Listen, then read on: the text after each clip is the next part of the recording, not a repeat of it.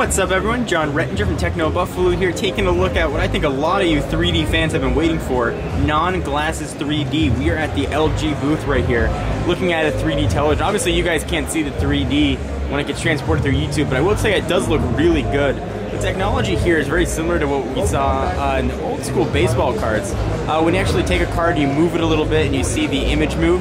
Uh, this is actually a very similar uh, effect. As you move around the television, uh, you may be able to see the picture change a little bit. It won't look 3D, uh, but it definitely changes as you walk around. Uh, this is probably the future of 3D TV. It's not, uh, it doesn't involve any sort of active glasses that need any sort of charge, or even passive glasses like you get at a 3D movie theater right now. This is completely glasses-free technology. If you take a look right here, they're telling you now that it is comfortable. Multiple viewers can enjoy 3D um, television. Uh, you definitely have to be sitting in a right spot. If you're sitting at a wrong angle, it looks a little bit on the blurry side, uh, but this will work for uh, multiple people.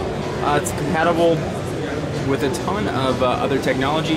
There's going to be 3D applications that are going to be come into play here, uh, but it does look very good. And this is really the first live, nice looking demonstration I've seen of glasses 3 technology. For those of you that are afraid of looking silly, or they wear prescription glasses, you want to put something over them, or they're just uncomfortable, uh, definitely look for non-glasses 3D TV uh, coming soon.